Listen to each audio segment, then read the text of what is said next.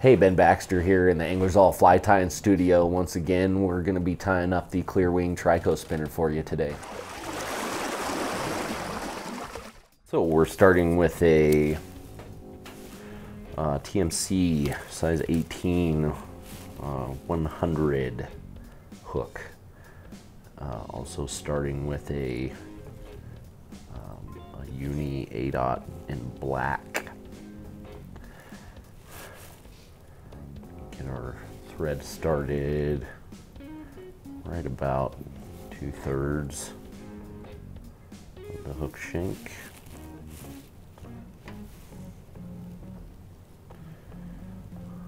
Just real nice tight wraps. You really want this body to stay very slender. So next I'm going to use, these are mayfly tails. Look like bristles from a brush. So I'm taking three of each on either side. So I'm going to tie in using the pinch wrap. And then I can kind of slide those onto the side that I want them.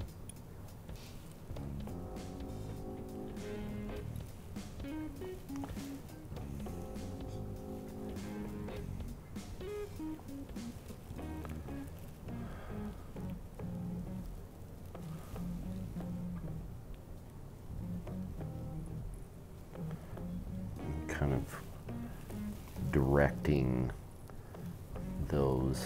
You can kind of bend them a little bit once you get them tied in so they'll kind of flare out. We're going to take three on the other side. Same thing with the pinch wrap.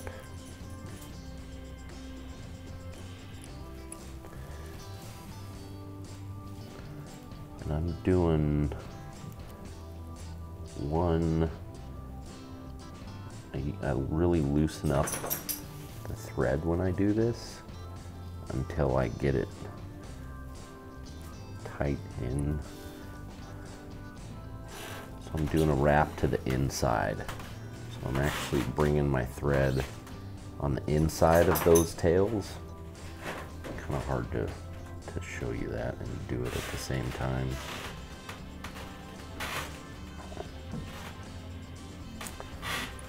But that helps flare those tails out.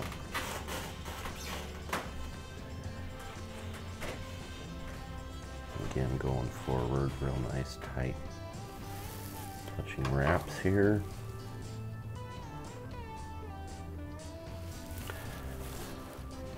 And I'm wrapping those forward before I trim them just to keep that body nice and even. Doing a couple wraps back just to cover some of that up.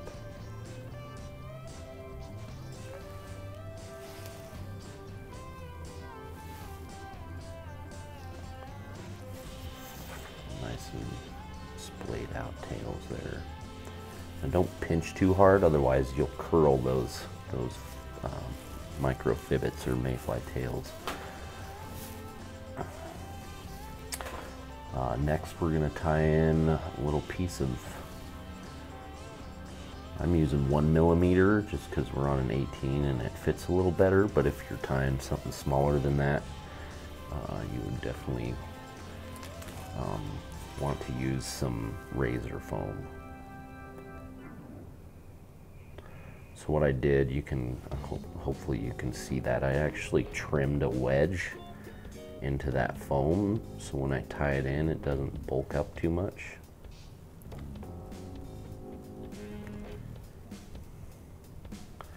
And then I want to bite just a smidge into the thicker part of that foam um, just to make it a little more stable in there. Next, we're using some Swiss straw for the wing. And You can trim this thinner than that if you'd like. I just like having a little more wing to it. And it's gonna pinch down once you tie it in anyways, so.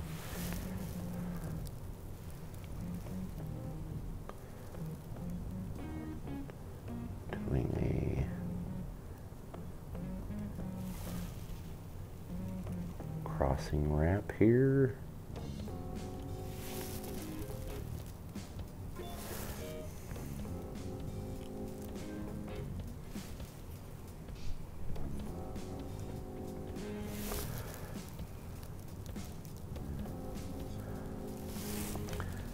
And I'm going to trim this too, but you can see as you as you do a couple wraps, it kind of thins out that wing.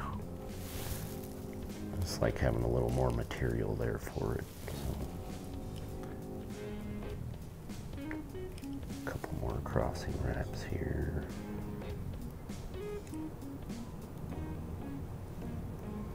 Um, next is some super fine dubbing. So I'm taking just a tiny little bit of dubbing here. Not much at all. You're really just wanting to coat that thread just a tiny bit.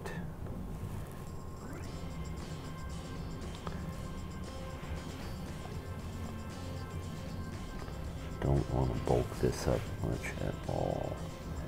I'm not pulling super tight, that way my wings keep their shape. You can kind of help guide them that way too.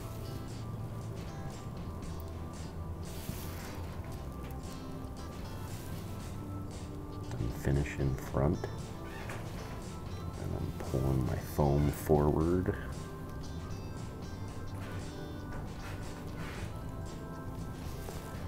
And biting down on that. Get quite a few good wraps in there.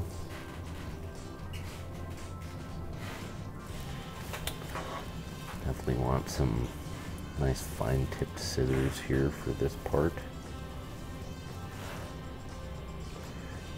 Make sure you do a couple really good wraps up there at the head before you trim this out because it's easy for it to want to pop back on you.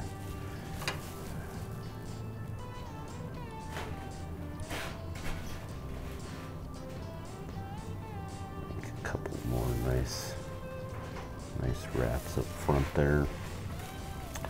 Grab our whip finish.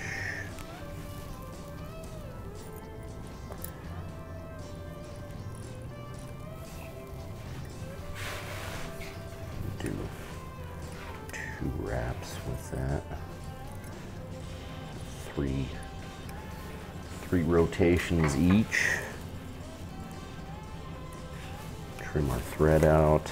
And I'm to just trim these wings up a little bit.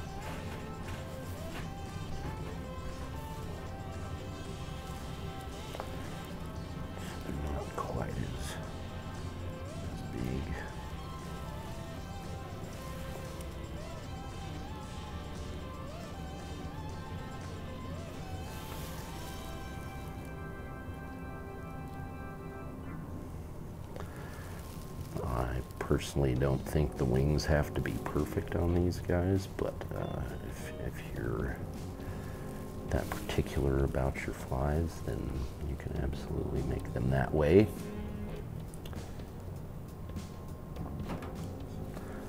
Just kind of trying to give them a little bit of shape here.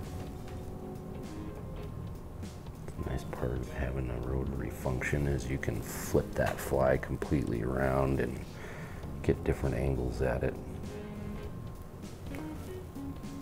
Guess I am being a little particular about it, but that's all right. And there you are. There is your Trico spinner. Thanks for watching.